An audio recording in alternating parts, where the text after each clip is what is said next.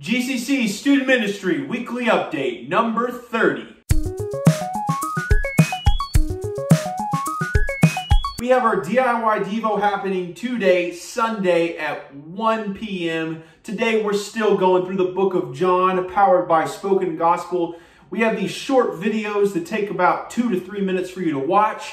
And then you read the Bible passage together, you answer a couple of quick questions, and then you spend time together in prayer as a family. So make sure you check your emails at 1 p.m., parents, and do it together as a family and spend time together reflecting on John.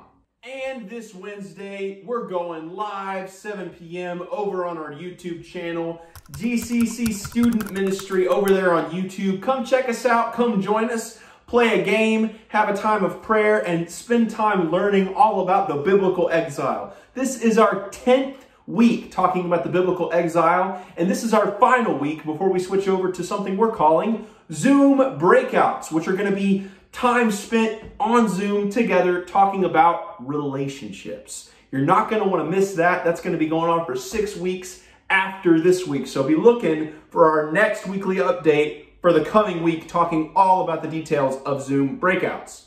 But that's all that's happening this week. I will see you next week. This is Titus saying see you later. Bye.